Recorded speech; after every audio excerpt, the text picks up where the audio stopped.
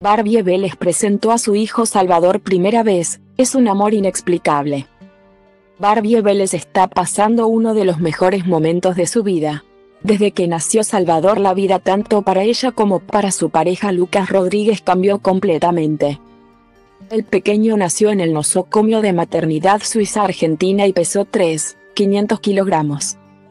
Nazarena Vélez quien es abuela primeriza ni bien nació su nieto, se emocionó y comentó, Estoy muy emocionada.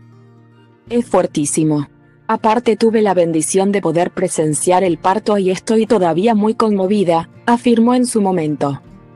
Desde que la hija de Nazarena Vélez tuvo a su hijo, en las redes sociales comparte constantemente el día a día con su pequeño.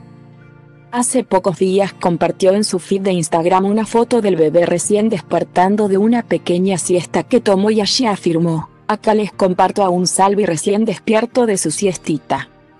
Amo estar compartiendo estos momentos de pura conexión con vos bebito hermoso, comentó. La joven mamá estuvo presente en LAM, programa donde trabaja Nazarena y aquí junto a Salvador en brazos brindo una linda entrevista, no le puedo explicar a la gente cómo estoy.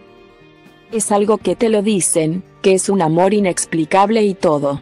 No me entra el amor en el alma afirmó mientras miraba de manera muy tierna a su pequeño hijo. Consultada por Ángel de Brito sobre si realizó cursos, la hija de Nazarena, admitió, de hecho estoy haciendo cursos. Comenzó y luego agregó tras la pregunta del conductor sobre si los cursos sirvieron, hay cosas que sí. Cosas que no como todos, cosas que te compras por las dudas, comenzó. Luego agregó, hice cursos de sueños, cursos de lactancia, argumentó Barbie quien luego de esto destacó la ayuda que recibe por parte de Nazarena Vélez. Estoy medio obse todavía, que respire, como esta, como duerme, entonces cuando está durmiendo conmigo al primer ruidito yo me despierto.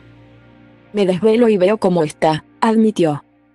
Además para finalizar, confesó sobre la ayuda que recibe por parte de su mamá, cuando está la abuela yo me duermo tranquila esas tres horas hasta que vuelve a tomar la teta sabiendo que está con mi mamá, que está cuidado, que está bien y lo mismo me pasa con la mamá de Lucas, confesó.